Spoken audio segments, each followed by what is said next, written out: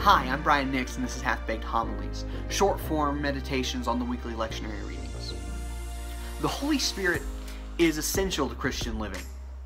In the Gospel reading for this week, Jesus is giving his disciples uh, more words of comfort before he is arrested, beaten, and killed and buried. The reading picks up in, in John 14, 15 through 21.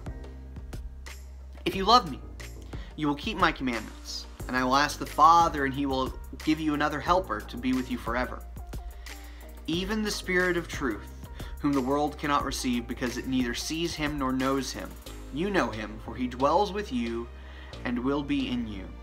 I will not leave you as orphans. I will come to you. Yet a little while, and the world will see me no more. But you will see me because I live. You also will live.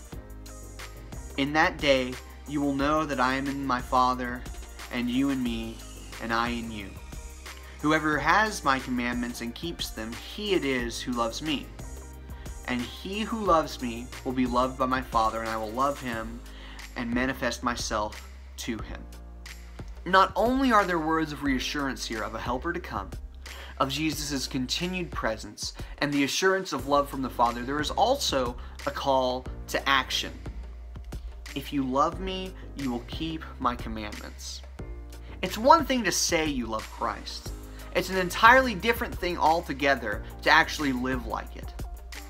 I feel often as Christians we fall into the temptation of loving what Christ has done for us rather than Christ himself. We love salvation by grace, but we aren't crazy about the denial of self.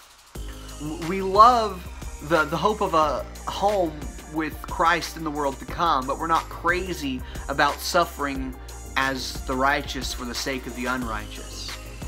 We love the, that Christ came to us when our minds were perverted by the darkness of sin, but we don't want to go and, and suffer and help in the darkness of others. He has not left us as orphans. He has called us to live with Him now as we meet together and break bread, and as we engage in the life of others just as he did. If you love him, keep his commandments. Grace and peace.